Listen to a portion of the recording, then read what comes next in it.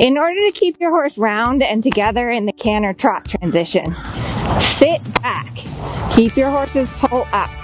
Put your horse in shoulder in and trot. That's super, super important that you put sit back, keep your horse's poll up. What I see happen a lot of times in the canter trot transition is people lean forward like this, overbend their horse, and then their horse just falls into the trot.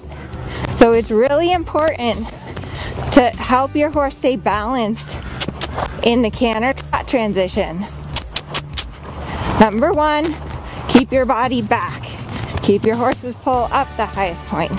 Put your horse in shoulder in. So I'm really thinking about setting him up for the canter trot by leg yielding him off of my inside leg and keeping the shoulder in into the trot.